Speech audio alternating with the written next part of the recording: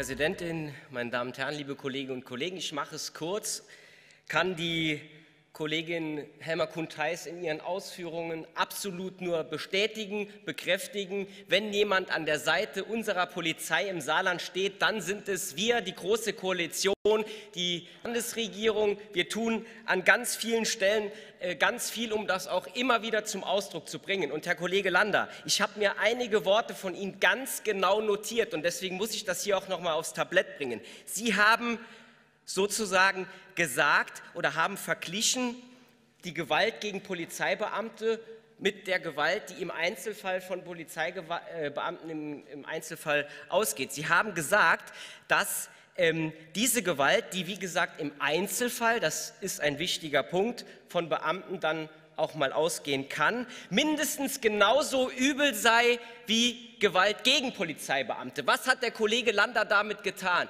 Er hat also einen Einzelfall, wo Beamtinnen und Beamte wirklich in einer Stresssituation sind, in einer Drucksituation und möglicherweise im Einzelfall übers Ziel hinausschießen, verglichen mit einem Angriff auf Leib und Leben von Polizeibeamtinnen und Polizeibeamten. Das ist eine ganz andere Dimension und insoweit sind Ihre Ausführungen definitiv in aller Deutlichkeit zurückzuweisen, meine Damen und Herren.